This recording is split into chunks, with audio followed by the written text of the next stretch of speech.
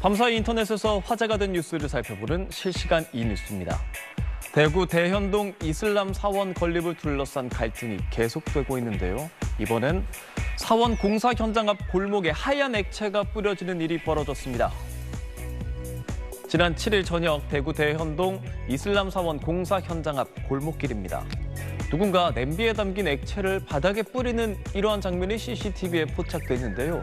이들은 CCTV를 의식한 듯 우산으로 얼굴을 가리는 듯한 모습을 보이기도 했습니다.